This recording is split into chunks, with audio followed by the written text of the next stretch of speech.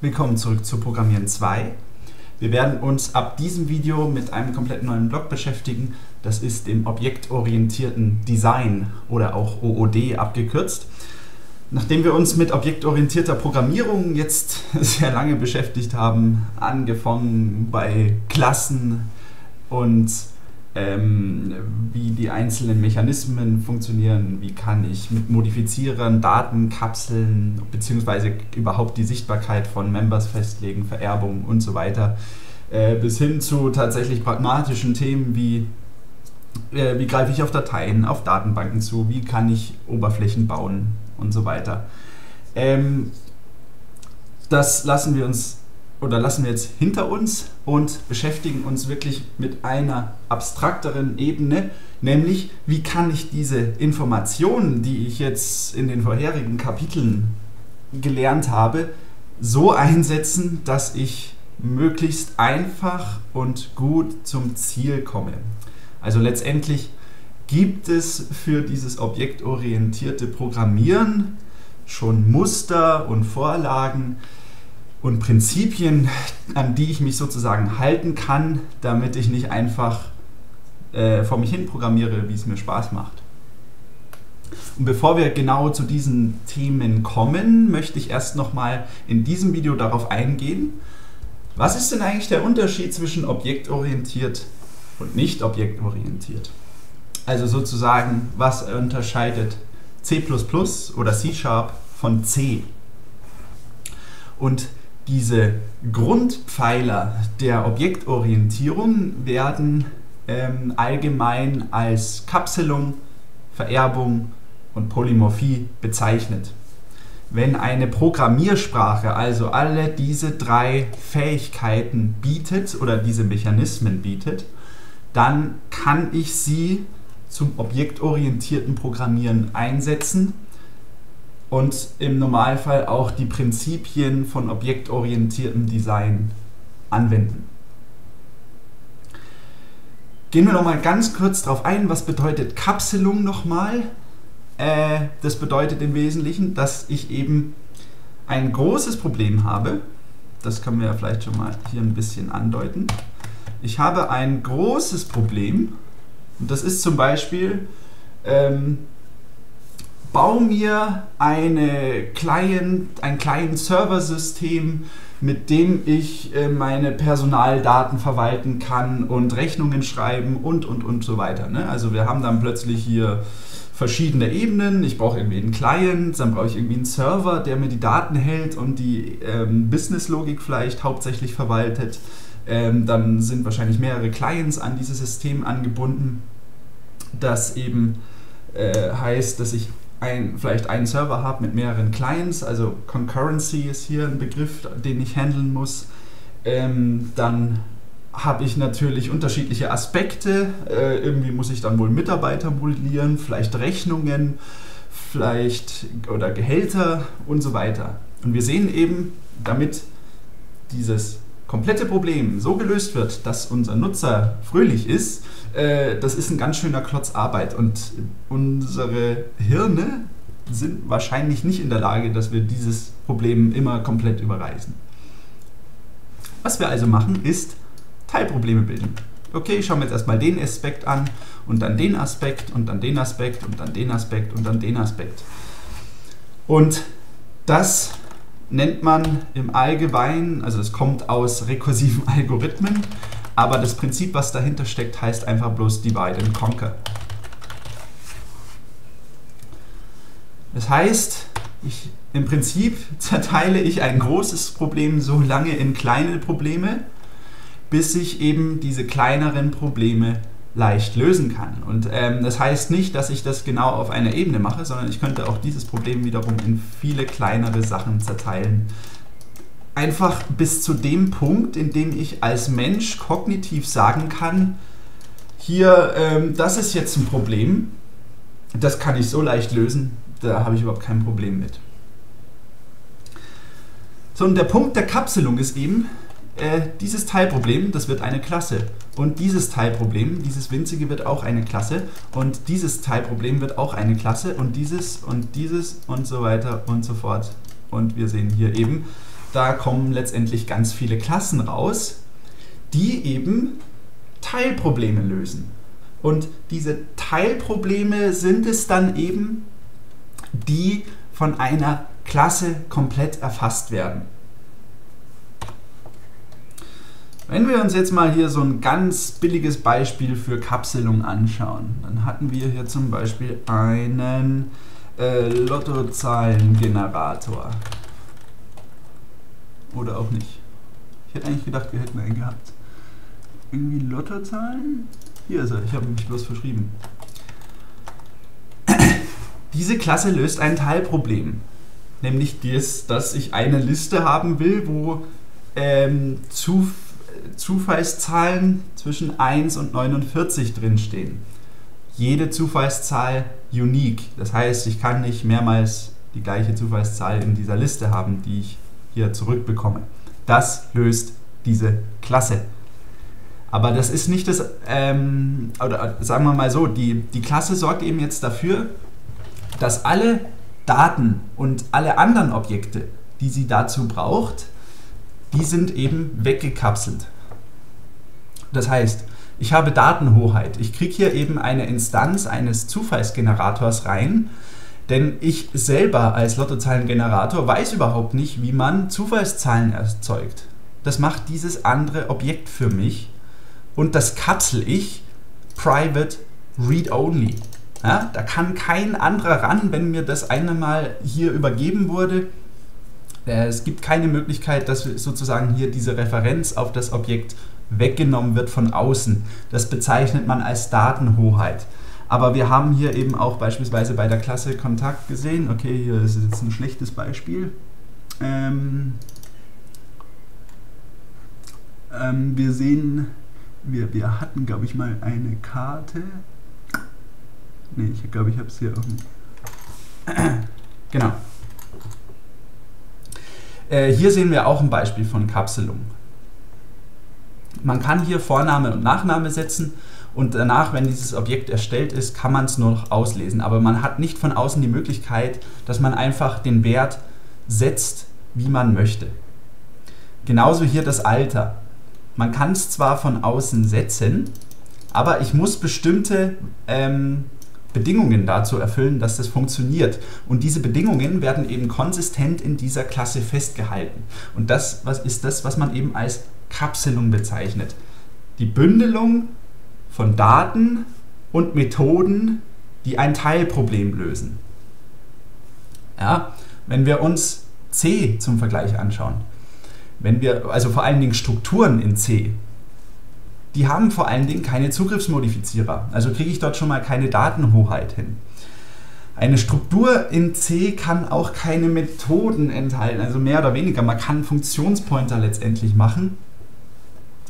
Aber ähm, im Prinzip bietet eine Struktur in C jetzt erstmal nicht das an, was uns eine Klasse in C-Sharp hier bietet, im Hinblick auf Kapselung. Genau genommen eben Zugriffsmodifizierer. Und äh, über diese Zugriffsmodifizierer kann ich eben hauptsächlich sicherstellen, dass meine Daten, sobald ein Objekt dieser Klasse gebildet wird, konsistent ist. Es ist nicht möglich, dass wir eben von außen, dass ein Nutzer unserer Klasse eben unser Objekt in einen inkonsistenten Zustand bringt. Ja? Weil wenn er das versuchen würde, dann kriegt er beispielsweise eine Exception zu Gesicht. Ja, also das ist ein wesentlicher Punkt, dass man das verstanden hat, was Kapselung bedeutet.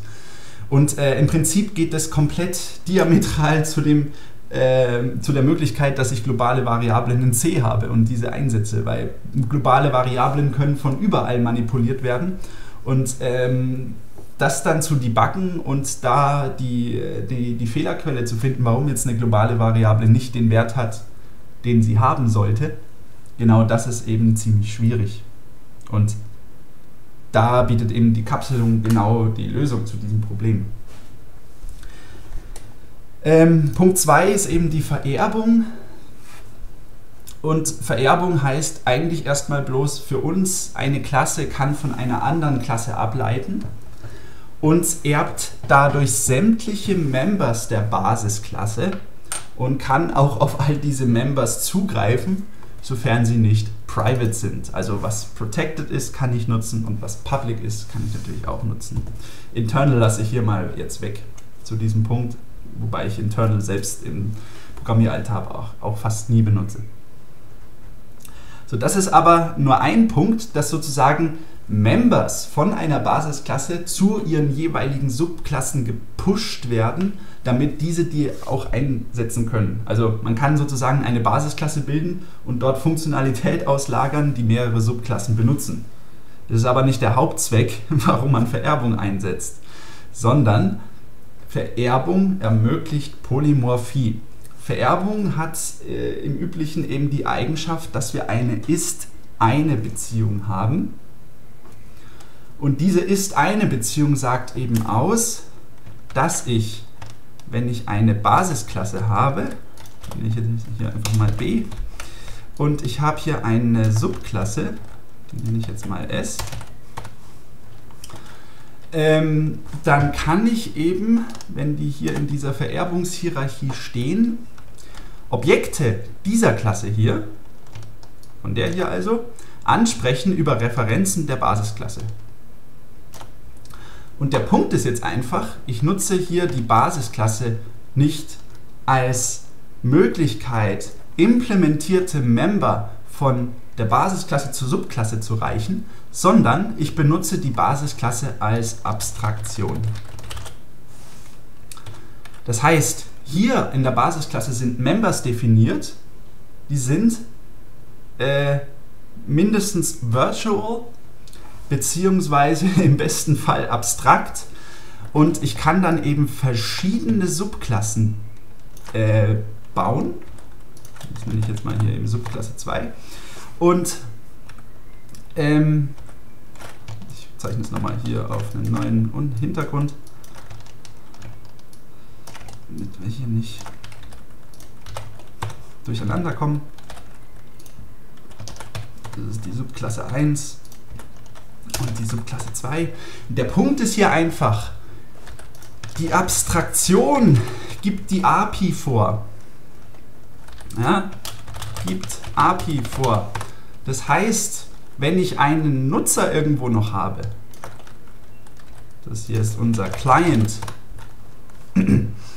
der kann dann jetzt eben die Abstraktion nutzen und äh, er hat eben eine API, die er einsetzen kann. Also er weiß, welche Methoden es gibt, die er aufrufen kann. Na gut, und Felder wird er ja nicht haben, aber Properties, Events und so weiter. Das ist eben, die Abstraktion gibt diese Members vor und dann können wir beliebige Subklassen haben, die eben diese Abstraktion implementieren.